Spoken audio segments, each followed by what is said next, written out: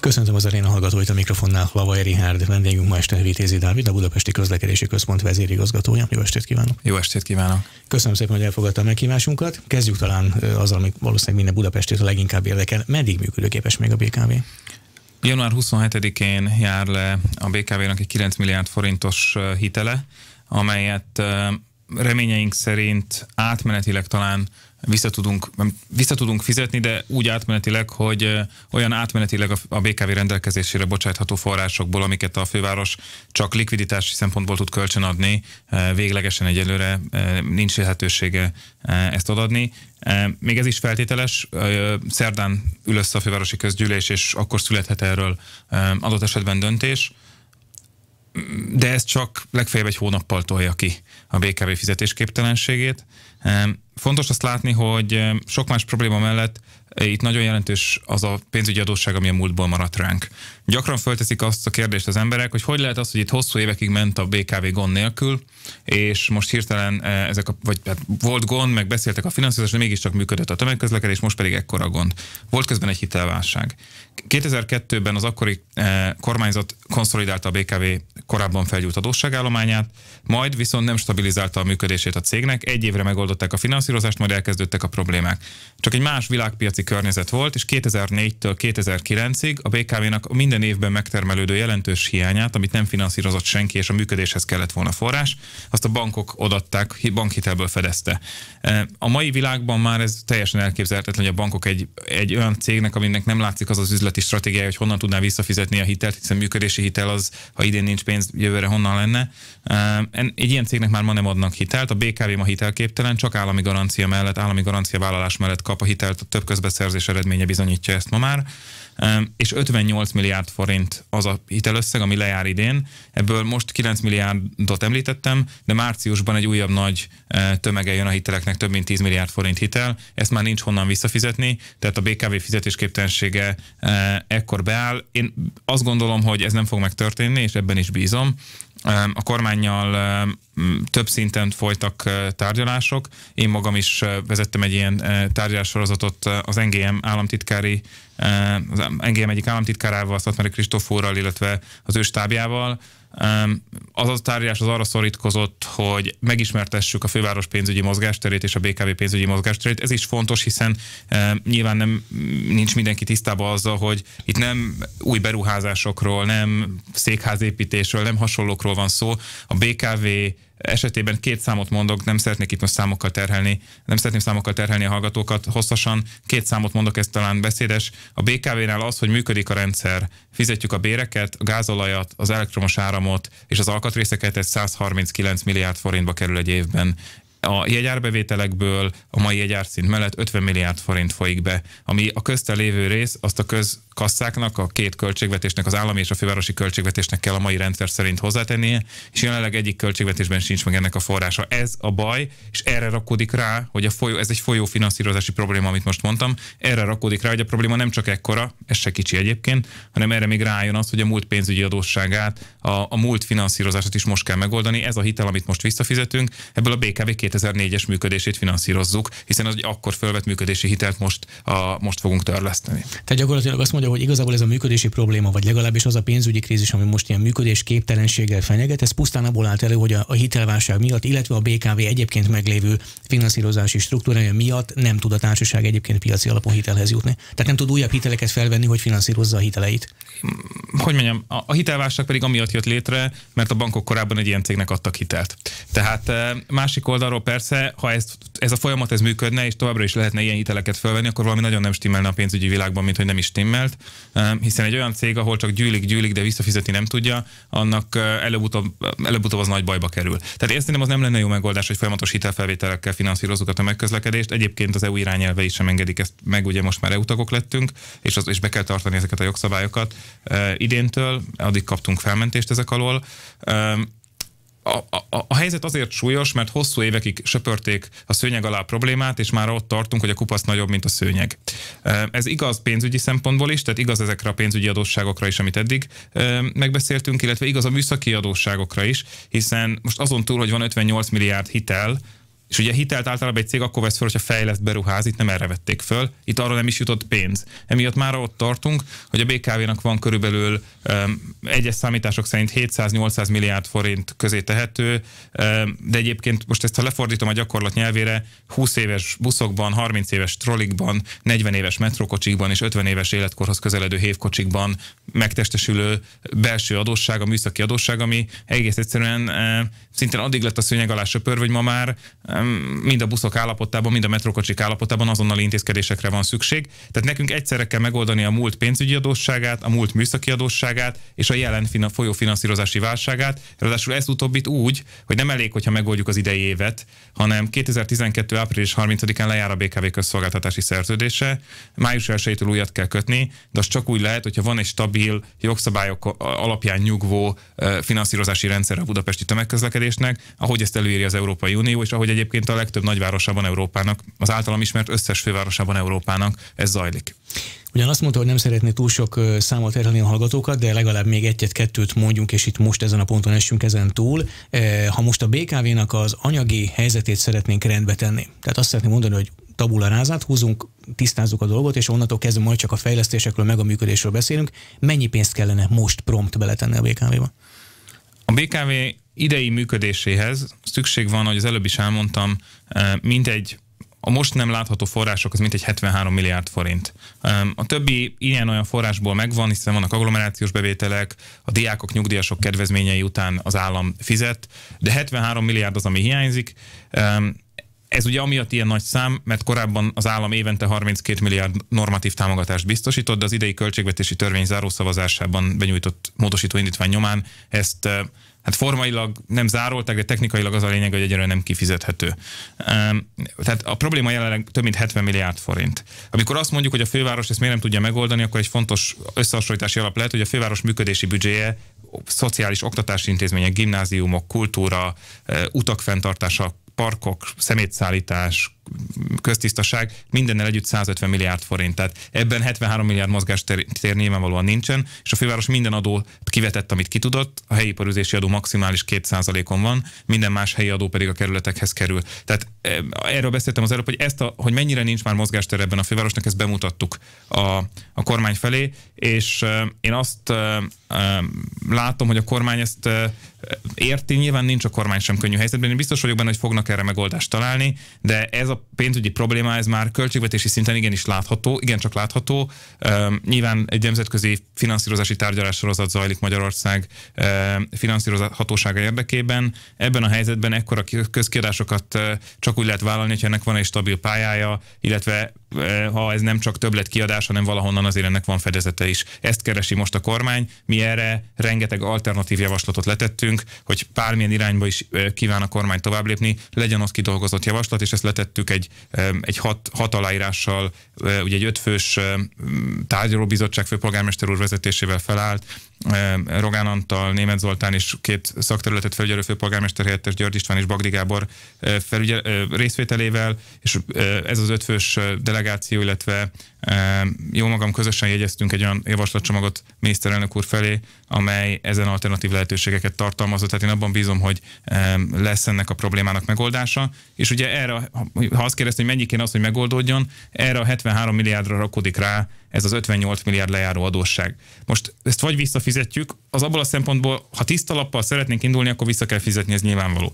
Ha ennyi pénz nincs a költségvetésben, és ezt nem lehet most megoldani, akkor meg kell próbálni ezt újra finanszírozni, újra felvenni, és néhány évet legalább egy részével nyerni, hisz az államadóságot sem lehet egy év alatt visszafizetni, még ha el is kezdődött egy ilyen folyamat.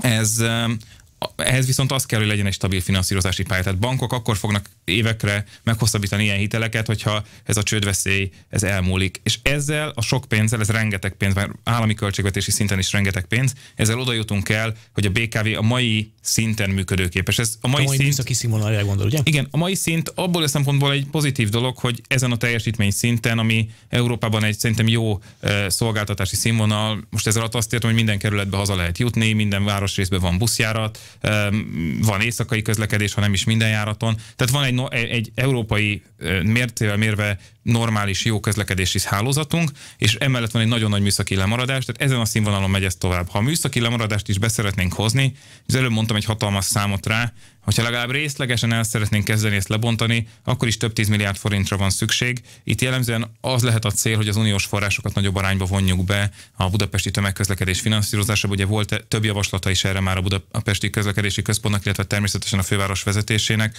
a, a mi javaslataink alapján.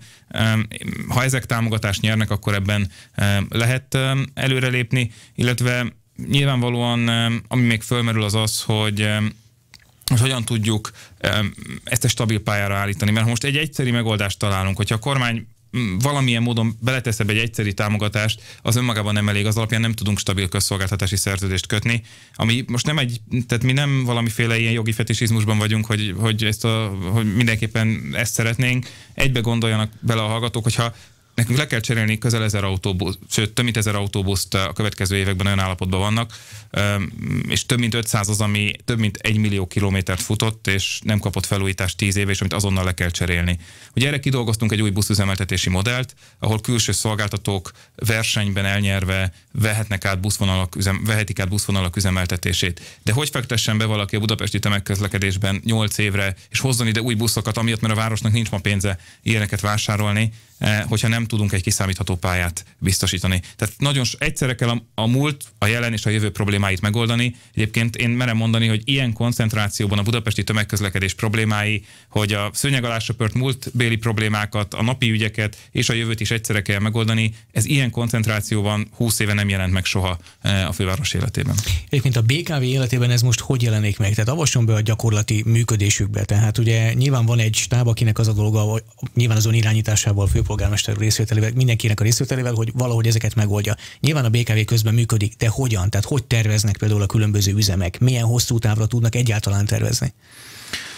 Egy gazdasági társaság életében ez egy lehetetlen helyzet, és a, a BKV vezérigazgatója jelentős erőfeszítéseket tesz azért, hogy életbe tartsa a céget egy ilyen helyzetbe, de ugye nekünk ahhoz, hogy a kormány segíteni tudjon, ugye vállalnunk kellett szintén azt, hogy jelentős megtakarításokat léptetünk életben, életbe a, a BKV életében. Ennek nyomán ugye a fővárosi közgyűlés döntésével a BKV igazgatósága felmondta a társaságnál a kollektív szerződést, így a bérenkívüli jutatások és egyéb e, szakszervezetek által kiharcolt többlet jogok, ugye március harmadikától a kollektív szerződés lejártával vagy megszűnnek rosszabb esetben, vagy jobb esetben, hogyha sikerül megállapodnunk a szakszervezetekkel, mi ezen vagyunk egy új kollektív szerződésben, akkor pedig ezek valamelyest módosulnak, és, és előfordulhat, hogy mérséklődnek. Tehát van egy, nyilvánvalóan egy, egy nem biztos, hogy kell, a kellemes hangulat ilyen szempontból, ezt kártagadni. Másrésztről egy cég életében ez egy nagyon rossz helyzet, amikor nem tud előre tervezni. Ugye a BKV mit tud tenni?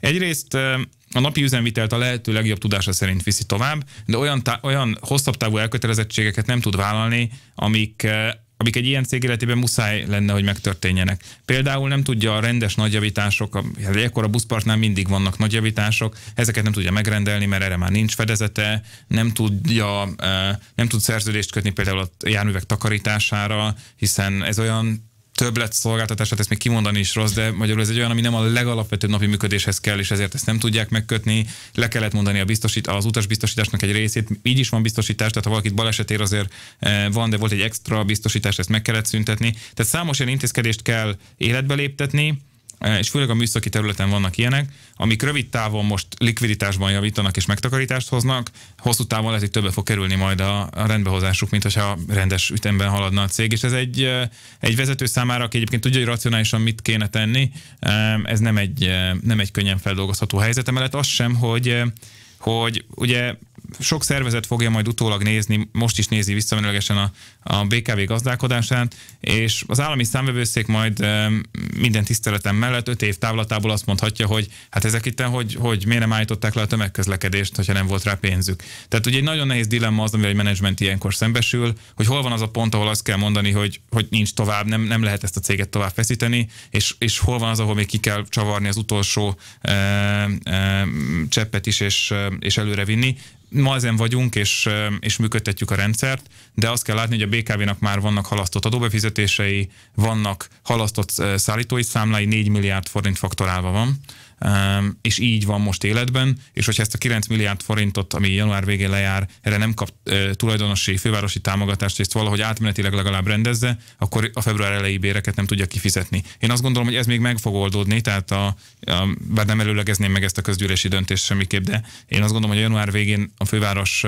meg fog tenni mindent, hogy ezen segítsen, de ez a helyzet hát elő fog állni ugyanígy február végén. És van egy pont, honnan nincs tovább, tehát addig ezt mindenképpen meg kell oldani, ugye ezt az egész 70 milliárdos finanszírozási hiányt. Hogy egy picit még az okokat kutassuk, ugye nagyon sokszor azt mondják szakértők Magyarországon általában a közösség, közösségi közlekedésen és ugye a BKV-vel is az egyik alapvető probléma az, hogy mondjuk a fővárosi és az állami juttatás, és legyen ez támogatás vagy finanszírozás közszolgálati szerződés keretében vagy azon kívül, illetve az elvárások, hogy mit várunk el attól a cégtől, ezek egyáltalán nincsenek összhangban, és ebben persze nyilván a társaságok is állítólag benne vannak, nem mindig tudnak pontosan információkat szolgáltatni. Mennyire ö, van összhangban most a főváros elvárása, vagy mondjuk a kerületek elvárása, és az a pénz, amit a főváros és a kerületek, illetve az állam ad a BKV-nak?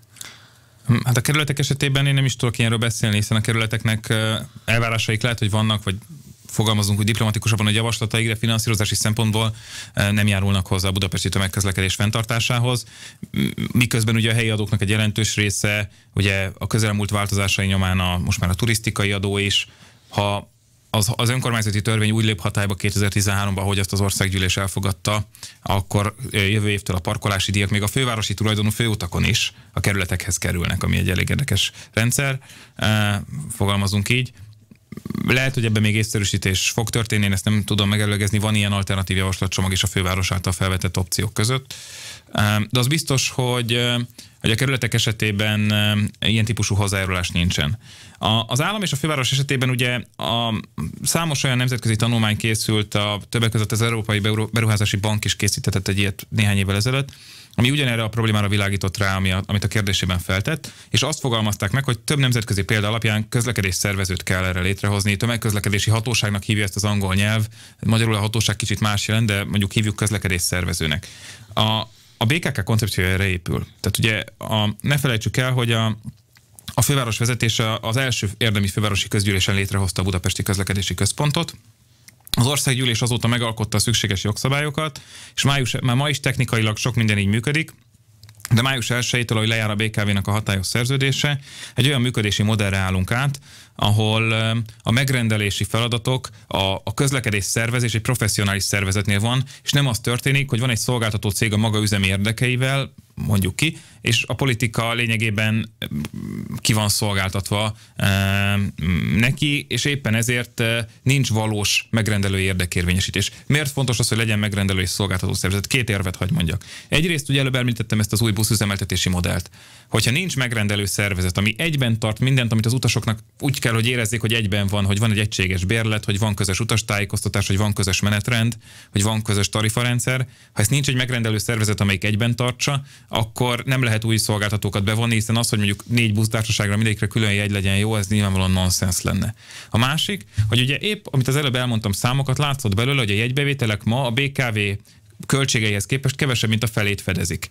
Ezzel önmagában nincsen baj, ez Európában is így van minden nagyvárosban, tehát sehol nem fedezik a jegybevételek, még csak nagyobb rész sem a tömegközlekedést, és egyébként pedig logikailag is helyes az, hogy az adófizetők járuljanak ehhez hozzá, hiszen aki autózik, az is részesül az előnyeiből a tömegközlekedésnek, hogy tud közlekedni, tud levegőt venni, élni, Budapesten a gazdaság működik. Na most ezen elvek mentén viszont az a helyzet áll elő, hogy a normális piaci logika nem érvényesül, mert a vevő, az utas, az a bevételek kisebb részét adja. Tehát magyarul az, hogy ő elégedett vagy nem, eh, az nem tudja igazán befolyásolni a tömegközlekedési céget, ráadásul egy félig monopoli, monopolisztikus helyzet van, mert a BKV a saját piacán monopólium, persze a bicikli meg az autó az azért versenytársa, de, de egy olyan helyzet áll elő, ahol annak, aki a pénz nagy részét adja, kell képviselnie a használók a közérdekét. Na most, hogyha erre nincs egy professzionális szervezete, akkor a politikusok magukban legjobb szándék mellett sem egy közgyűlési testület nem tudja ezt napi szinten érvényesíteni, ehhez kell egy professzionális közlekedés szervező.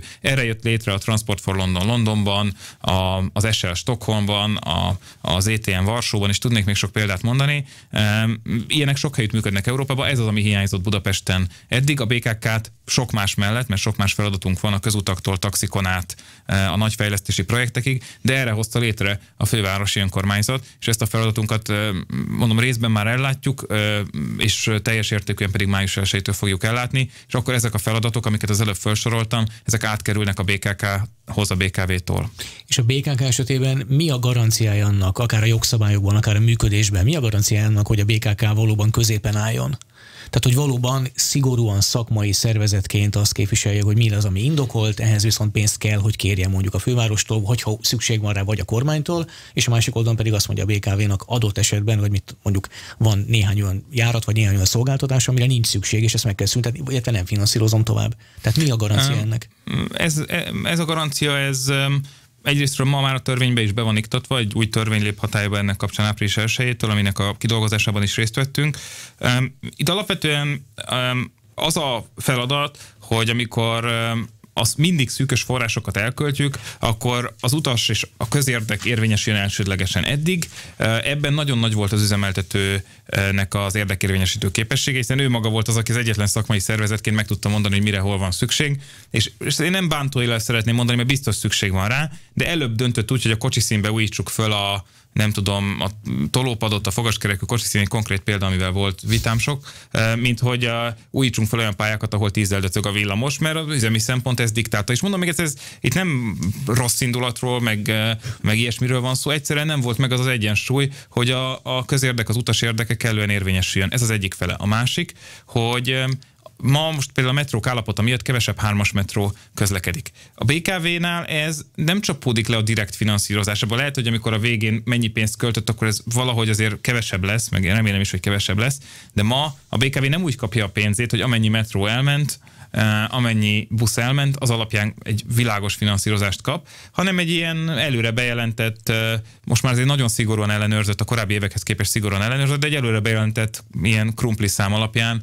mondjuk így, eh, kap valami, kap, megkapja ezt a pénzt, legalábbis reményeink szerint idén is megkapja. Ezt május 1 egy új alapra kell helyezni, erre van egy Európai Uniós rendelet, hogyha egyébként az észérvek is ezt diktálják, de már csak amiatt is ezt meg kell tennünk, és bizony minden egy, és ehhez is kell egy professzionális megrendelő szervezet. A finanszírozás egy ilyen nagy cégnek, főleg, hogyha nem versenyben nyert el a, a tevékenységét, hanem egy monopólium, csak úgy kaphatja meg, hogyha minden egyes tételesen a számlái is el vannak számoltatva, vagy mire költötte a pénzt, és az is, hogy hány busz ment, és ha kevesebb busz ment, vagy rosszabb színvonalon, akkor kevesebb pénzt fog kapni. Bizony, ez a rendszer működik, még a német államvasút is most, hogy Berlinben nem tudott annyit szolgáltatni, amennyit kellett volna, és volt egy, egy üzemzavar sorozat több éven át, bizony nagyon súlyos pénzügyi elvonásban részesült. A BKV-nál ezek az elvek ma még a szerződésben nincsenek benne, tehát az egy, az egy nagy feladatunk, hogy ezt érvényesítsük. Vitézi Dávid, a Budapesti Közlekedési Központ vezérigazgatója, az aréna ma esti vendégem. Rövidesen innen folytatjuk a beszélgetést, tartsanak velünk továbbra is.